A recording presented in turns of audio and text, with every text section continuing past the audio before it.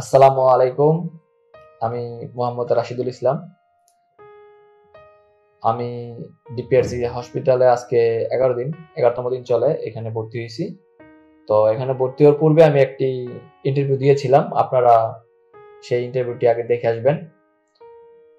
তারপর দেখার পর আমি বিস্তারিত বলতেছি, আমি এখন কীরকম আছি। আসসালামু আলাইকুম। আমি মোহাম্মদ রাশিদুল ইসলাম রাজ। আমার বয়স ত্রিশ বছর। আমার বাড়ি হচ্ছে গাজীপুর জেলার কালীগঞ্জ উপজেলাধীন বক্তারপুর ইউনিয়ন। তো আমার শৈশবকালটা খুব ভালো ছিল এবং যখন আমি পড়ালেখা করি তখনও খুব আনন্দ গগন মুহূর্তে ছিলাম। আমি খুব ভালো সময় কাটাতে ছিলাম। খুব ফ্রেন্ড সার্কেল ছিল অনেক। মানে যে জীবনটা মানুষ উপভোগ করে সেই উপভোগ করতেছিলাম তো এগারো সালে যখন ফ্রেন্ডের সাথে আড্ডা দিই তখন ফ্রেন্ডরা বলে যে এখান থেকে লাভ দিতে পারবে। তো আমি একটু রকচটা ছিলাম, রাগে ছিলাম। তো বলার সাথে সাথে আমি দোতলা থেকে লাভ দিয়ে ফেলি। তো লাভ দেওয়ার কিছুদিন পরে সপ্তাহ পর আমার পা গোড়ালি থেকে শুরু হয় ব্যথা। তো তারপর থেকে আমার জীবনে একটা দুর্বিষহ নেমে আসে। মানে ব্যথা জিনিসটা আমার শরীরে বহন করে, সেটা নিয়ে আমি বাঁচতে থাকি। যাই হোক তারপর আলহামদুলিল্লাহ আল্লাহর মধ্যে ভালো ছিলাম। চোদ্দোর পর থেকে আবার শুরু হলো মানে প্রচণ্ড ব্যথা। সেই ব্যথা ঘাড়ে গেল, ঘাড় থেকে কোমরে গেল, কোমর থেকে হিপ জয়েন্টে গেল। তো পরিশেষে সতেরো সালে আমি অনেক অসুস্থ হয়ে গেছিলাম, অসুস্থ হয়ে হসপিটালে হয়েছিলাম, তিন দিন ভর্তি ছিলাম। তো এর মধ্যে আমি অনেক ডাক্তার দেখাইছি, প্রায় নব্বই প্লাস একশো তো হবে ইনশাল্লাহ ডাক্তার দেখাইছি। সবাই ট্রিটমেন্ট করছে মেডিসিন দিছে, ওষুধ দিছে, চিকিৎসা নিছি ধার দেনা করেও চিকিৎসা করছি। চিকিৎসা কমতি রাখি নাই, এমনও মাস গেছে যে দুইটা ইঞ্জেকশন দিছি তিরিশ হাজার টাকা দিয়ে। কিন্তু কোনো ইমপ্রুভ ছিল না, কোনো উন্নতি ছিল না। তো সতেরো সালে ভর্তি হলাম, তারপর চিকিৎসা দিল, তিন দিন দেওয়ার পর ভালো হয়ে গেলাম। তারপর আলহামদুলিল্লাহ, তারপরে করোনা আসলো, করোনার মধ্যে একুশ সালে বিবাহ করলাম। যাও দাম্পত্য জীবনও ভালো ছিল জবও করতেছিলাম ভালো একটি, তো অসুস্থতার কারণে সেই জবটিও চলে যায়। কিন্তু কি হঠাৎ করে আজকে প্রায় এক মাস, তিন দিন হলো আমি মানে একদম বিছানায় বিছানায় পড়া আমি নড়তে পারি না, ডানে বামে কোথাও নড়তে পারি না পা নাড়াতে পারি না, ডান পা আমার একদম মানে যেটা হিপ জয়েন্ট বলে, সেই হিপ জয়েন্টটা মুভমেন্ট হয় না অ্যাডজাস্ট হয়ে গেছে।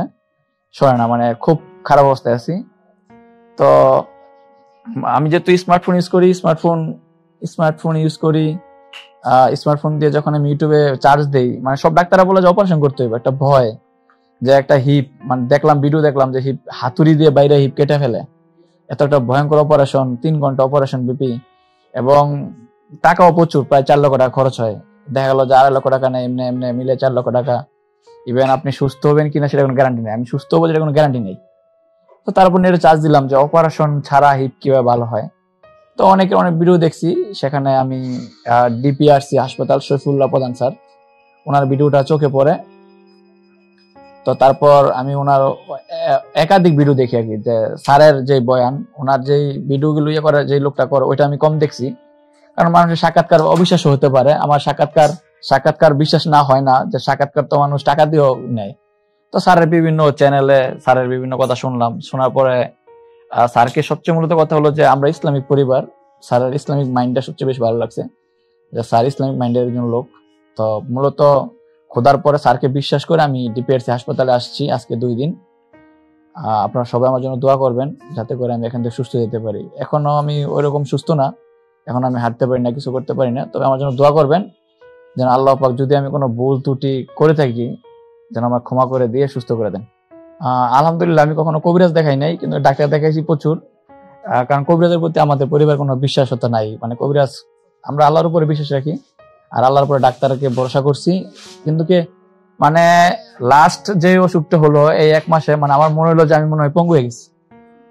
যে আমি মনে হয় আর উঠতে পারব না, আমার আমার ওয়াইফও এখন প্রেগনেন্ট আমার মনে হয়েছে যে, মনে হয় আমি আত্মহত্যা করি। যে এরকম ব্যথা যে আত্মহত্যা করি, গলায় যেগুলো দড়ি দিয়ে ঝুলাইয়া মরে দেয় যে এই জীবনে লাভ কি? আমার সন্তান হইব, তার জন্য কিছু করতে পারব না, আমি আমার ওয়াইফের মাথার মধ্যে হাত বুলাতে পারতেছি না। আমার ওয়াইফ সেবা করতেছে মানে এর চেয়ে খারাপ পৃথিবীতে কিছু নাই।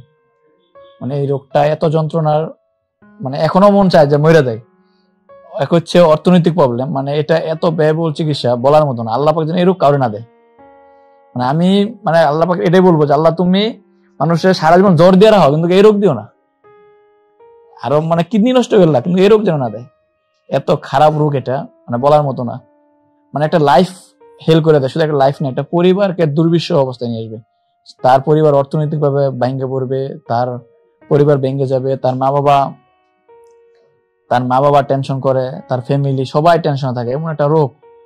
একজনের কারণে যদি মেম্বার দশজন থাকে সেই দশজন অসুস্থ হয়ে যায়। আল্লাপাক যেন এই রোগ কাউকে না দেয়। ভাই এদিকে আসেন। হ্যাঁ ভাই আসেন। হ্যাঁ ভাই আমি তো বসছি আল্লাহ রহমতে আজকে আহ, বসতে পারছি আর কি এখনও। এখন হাঁটতে পারিনি কিন্তু বসতে পারছি ইনশাল্লাহ এটা এটা আলহামদুলিল্লাহ। কেমন লাগতেছে? মানে বুঝতে পারছি মুখে হাসি বুঝতে পারতেছেন আনন্দ কতটুকু? আশা করি আপনারা আমার পূর্বের ভিডিও দেখেছেন। আমি পূর্বে মোটামুটি হান্ড্রেড পার্সেন্ট অসুস্থ ছিলাম। আমি লাঠি ভর দিয়ে, লাঠি ভর দিয়ে বলতে কি মানে হিসাবে সহযোগিতা নিয়ে আসছি মা- বাবার। হাঁটতে পারতাম না বা নাড়াইতে পারতাম না। তো ডিপিআরসি হসপিটালে আমি ভর্তি হয়েছি সাত ছয় দুই হাজার তেইশ। আজকে আমার এগারোতম দিন। ইনশাল্লাহ আমি মানে স্যার বলেছিল আমায় তিরিশ দিন থাকার জন্য, এক মাস থাকার জন্য। এগারোতম দিনে আমি চলে যাওয়ার জন্য সিদ্ধান্ত নেই। কিন্তু কি, আলহামদুলিল্লাহ আমি এখন সুস্থ আছি। হাঁটতে পারি, পায়ে বট দিয়ে বসতেও পারি, চেয়ারে শুয়ে থাকতেও পারি। কিন্তু আলহামদুলিল্লাহ যে শুক্রিয়া আল্লাহর কাছে যে আমি যে অবস্থা ছিলাম, লাঠি ভোট দিয়ে দিয়ে আসছি, হাঁটতেই পারতাম না প্রচণ্ড ব্যথা ছিল পেন ছিল। তো এই ডিপিআরসি হসপিটালে আসার পর শফিউল্লাহ প্রধান স্যার, তিনি যে ট্রিটমেন্ট দিয়েছেন, তিনি যেই থেরাপিস্ট ওরা আলহামদুলিল্লাহ সবাই ভালো ট্রিটমেন্ট দিয়েছেন। যে কারণে দশ দিনে রিকভারি করতে সক্ষম হয়েছে, হাঁটতে পারতেছি আর কি, যেটা সুক্রিয়া সবচেয়ে বড় বিষয়। সেটা হলো যে আমি মানে আমার তৃতীয় পা তৃতীয় পা অর্থাৎ আমার লাঠি, লাঠিবিহীন, বাদ দিয়ে দিয়েছি। আমি এখানে আসার পরে আমার মানে আমি যে এখানে ছিলাম, সেই কেবিনে আমরা পাঁচজন ছিলাম, তো আজকে আমি সহ পাঁচজনে চলে যাচ্ছি। মানে আমি থাকা অবস্থায় তিনজন চলে গেছিল, আজকে আমরা দুজন চলে যাব ইনশাল্লাহ লাঠি ছাড়া আমি সপ্তম দিন থেকে হাঁটা শুরু করি, সপ্তম দিন, অষ্টম দিন থেকে।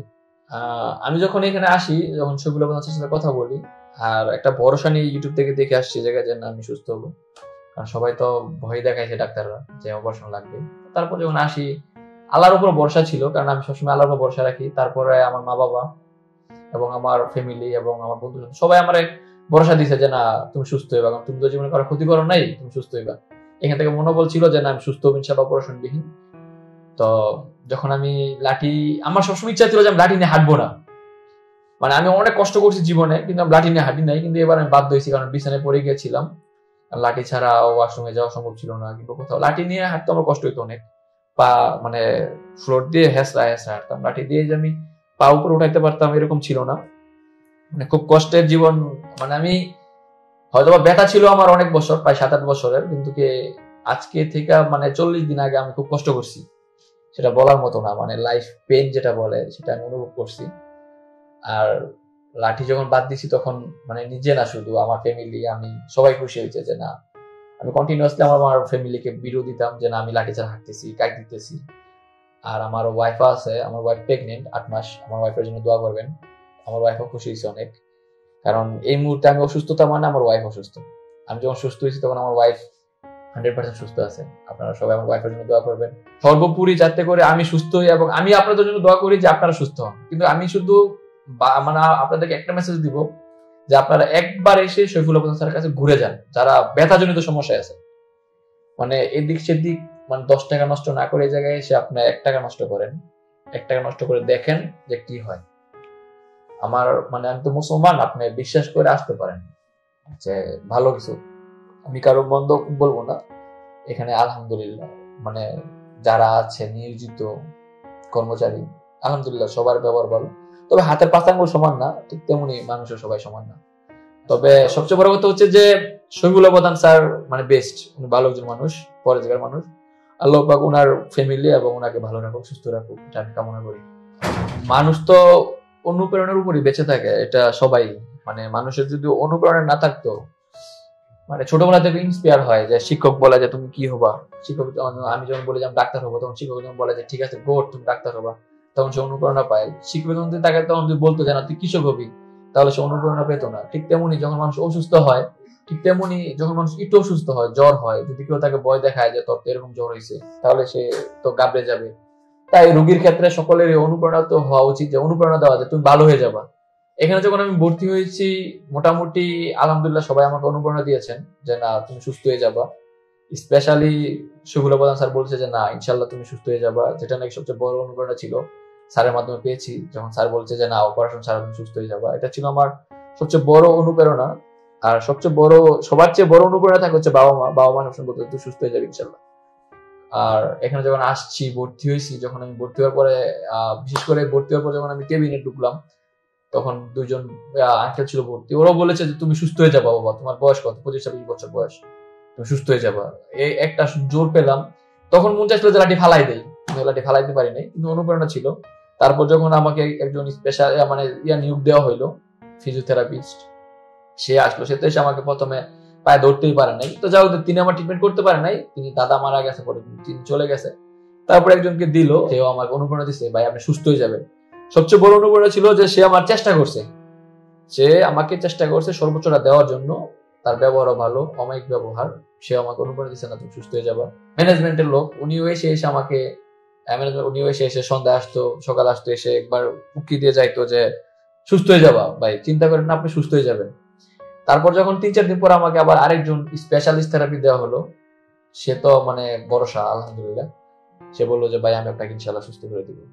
আল্লাহর রহমতে, আল্লাহর পর আপনি ভরসা রাখেন, সুস্থ করে দিব যাক, আলহামদুলিল্লাহ, দুই দিন দেওয়ার পরে আমি ফিল করছি যে, না, আমি ভালো। লাঠি ভাত দেওয়ার পর তো মানে আনন্দ আনন্দ মানে বলার মতো না, যেটা প্রকাশ করার মতো না। আর আমি আপনাদের জন্য একটা মেসেজ দিতে চাই, সেটা হলো যে, যাদের মানে বাদজনিত সমস্যা যাদের শরীরে ব্যথা আছে পেন আমরা এদিক সেদিকে না ঘোরাঘুরি করে শুধু যে এইখানে আসতে হবে এরকম কথা না মানে আপনারা থেরাপিস্ট দের সাথে যোগাযোগ করেন। স্পেশালি ডিপিএস হাসপাতাল শহীদুল আহ, শহীদুল্লাহ প্রধান স্যার ওনার যেই চিকিৎসার মান সেবা অত্যন্ত ভালো। যদি আপনাদের সম্ভব হয় আপনারা একবার এসে ঘুরে যাবেন। আসলে যে চিকিৎসা নিতে হবে এরকম না যেহেতু আমি প্রায় সত্তর থেকে আশিটা হাসপাতাল ঘুরছি। পঙ্গু, নিটোর, পিজি, এমনকি বাংলাদেশের যত বড় বড় ইবনি সিনা লেভেল টেবেল সব হাসপাতালে ঘুরছি। মানে মোটামুটি মানে বিশাল অঙ্কের টাকা খরচ করে আসছি। মাসে চল্লিশ হাজার টাকার মতো খরচ হয়েছে। তো আপনারা ওই দিক সেদিক টাকা নষ্ট না করে যারা ব্যথা রোগী, বিশেষ করে বাদজনিত সংক্রান্ত বিষয়ে ব্যথা, প্যারালাইজড, গাড়ে প্রবলেম, বিভিন্ন জায়গায় প্রবলেম আছে, তারা এই জায়গায় আসতে পারেন, এসে ঘুরে যেতে পারেন। আসলে যে চিকিৎসা নিতে হইব বা আমার উপরে যে বিশেষ করে আসতে হইব এরকম কথা না কিন্তু আপনারা এখানে এসে চিকিৎসা নিতে পারেন? ইনশাল্লাহ আল্লাহ যদি সহায় থাকেন আপনাদের প্রতি, তাহলে মানে আল্লাহ উপরে আল্লাহ, নিচে কেউ উসিলা থাকে, উসিলায় মানুষ সুস্থ হয়। যদি আপনার প্রতি আল্লাহ সন্তুষ্ট থাকে, তাহলে ইনশাল্লাহ এখান থেকে আপনার রিকভারি হয়ে যাবেন।